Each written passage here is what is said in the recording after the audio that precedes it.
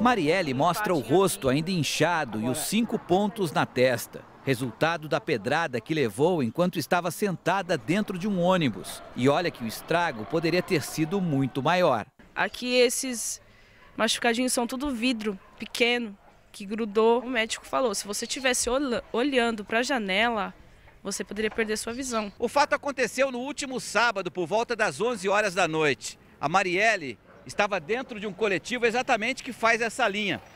O ônibus deveria parar exatamente aqui nesse ponto. Só que aqui, muitos adolescentes aguardavam o coletivo, eles estavam indo para uma balada, também, como fazia a Marielle. O motorista, então, não parou, seguiu adiante. Um dos jovens que estava no ponto pegou uma pedra e atirou contra o coletivo.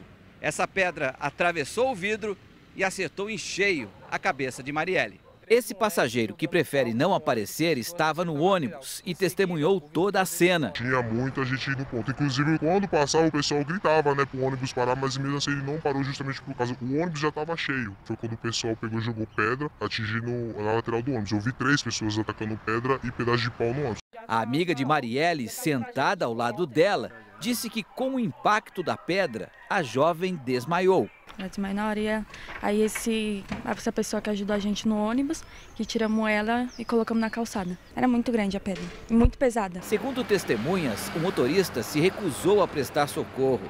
Apenas parou o ônibus mais à frente e abriu a porta traseira para que a amiga e alguns passageiros desembarcassem com Marielle para pedir ajuda na calçada. A gente falou, mas deixasse o cobrador pelo menos com a gente, porque só tinha nós de mulher. Se não fosse os rapazes ajudar a gente, lá era perigoso para a gente ficar sozinha. Depois que deixou Marielle ali na calçada sangrando, o motorista do ônibus seguiu a viagem até o final.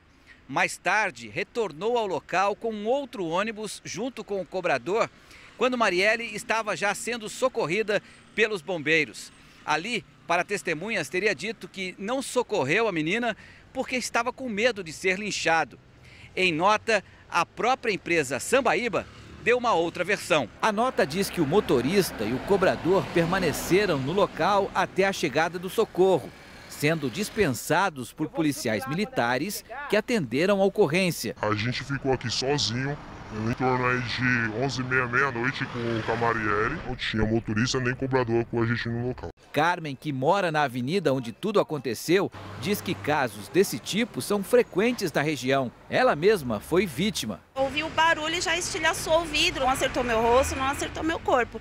Só que o motorista parou o ônibus na hora, olhou e continuou, foi embora. Marielle agora quer justiça. Espera que a polícia prenda quem atirou a pedra e também pretende responsabilizar o motorista do ônibus, que não prestou socorro. Porque ele não ficou ali no momento, não prestou socorro, não quis ajudar. Cadê o amor ao próximo?